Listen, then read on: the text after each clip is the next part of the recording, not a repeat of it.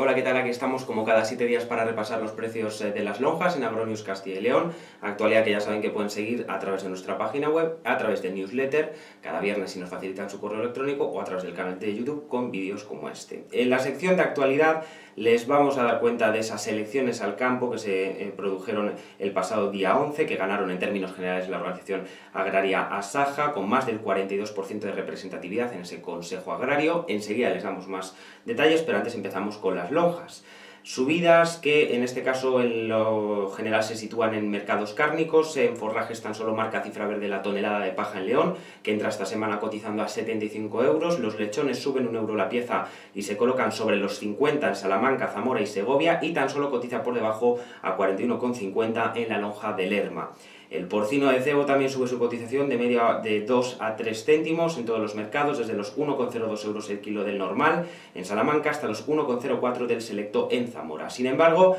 la subida que destacamos esta semana es en Segovia, donde el normal, el selecto y graso han subido unos 4 céntimos aproximadamente. En eh, Segovia se colocan a 1,07, 1,08 y 1,28 euros respectivamente. En zona naranja se colocan el resto de mesas, eh, desde los 153 euros de la tonelada de avena en León hasta los 183 de la cebada en Salamanca, los tostones siguen a 27 euros la pieza en Salamanca y Zamora, el cebo de campo entre 2,19 y 2,31, eh, cebo y cebo de campo, y, los, y como hemos destacado en el vacuno, cuyas eh, terneras en este sentido y añojos se mueven entre la horquilla de los 3,93 4,21 euros el kilo en la lonja salmantina.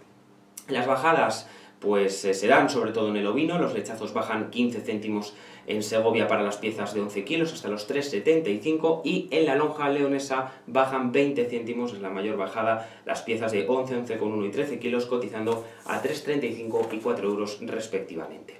En la actualidad agraria, tal y como les eh, decíamos, el pasado 11 de febrero se celebraron esas elecciones al campo, las quintas elecciones en Castilla y León desde el año 1997, pero las primeras en las que se, elegía por siglas, en este sentido, la representatividad de las OPAs. En Agronius, de hecho, les hemos hecho un eh, seguimiento continuo sobre este asunto, hasta el cierre de urnas. A eso de las 8 y media de la tarde se conocían los resultados en la Consejería de Agricultura, la organización que dirige Donación Orujo, Asaja, fue la triunfadora, subiendo casi 3 puntos respecto a los últimos comicios, 42,3% de representatividad, subió en 7 provincias, Burgos y Zamora, las dos únicas en las que ve como los datos son inferiores, alcanza más del 20% en todas las circunscripciones, en Salamanca con el 44% de los votos, en las anteriores llegó al 39%, subida importante, ascenso vivido también en Ávila, que eh, llevó a esta organización a situarse, eh,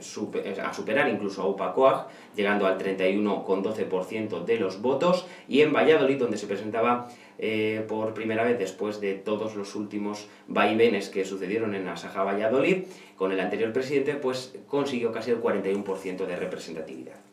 Si ganó Asaja en Salamanca, eh, fue en detrimento de la alianza UPACOAG, que se quedó a 19 votos de mantener la máxima representatividad en la provincia charra. La cifra regional habla de una reducción de apoyos del 2%, 2,6 aproximadamente, de los 32,6 al, al 30%.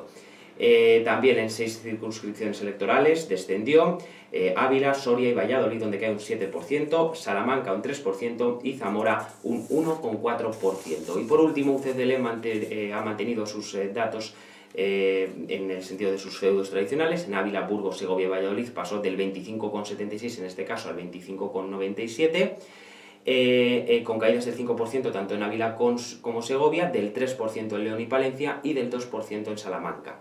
Eh, también el resultado importante en este sentido de UCCL para Burgos, donde tiene mayoría con un aumento del 1%, del 49% al 50%. En Valladolid sigue aferrándose también como primera fuerza, con más del 49% de los votos. El desglose completo, como siempre, y todos los datos en nuestra web en agroniuscastilleon.com.